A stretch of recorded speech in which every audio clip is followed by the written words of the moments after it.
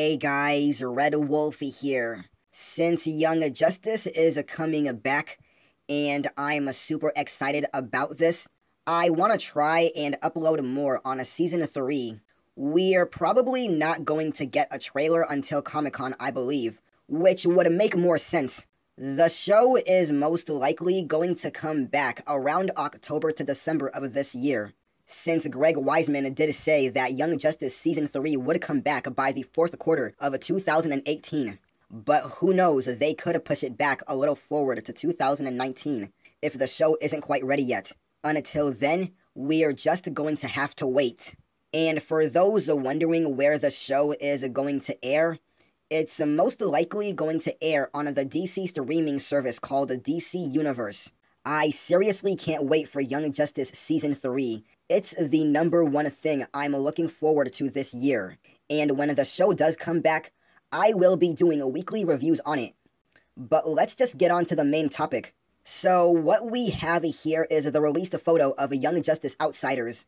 I would have done a video on this when the photos were released a few days ago, but school and work got in the way.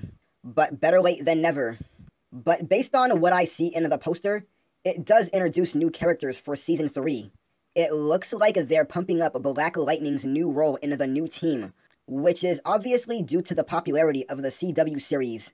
In the comics, Black Lightning helped Batman create the team of the Outsiders, so this move does make sense. Returning characters include a Superboy, former Artemis known as Tigress, Nightwing, who is my favorite character, and Black Lightning.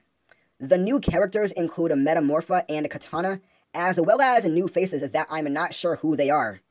The woman flying could be Lightning, given the connection to Black Lightning and Lightning's own role in Outsiders. The character in the green costume could be a different take on a Geoforce, which makes sense given the lead suck. But one character is particularly interesting. Hopefully, we learn more about these new characters, as well as see more familiar faces in the up and coming days. But what do you guys think of these photos? Are you excited for the show's return? Knowing Greg Weisman, I have tons of faith in him. Until then, guys, this is Red Wolf signing out, and I'll see you next time. Peace.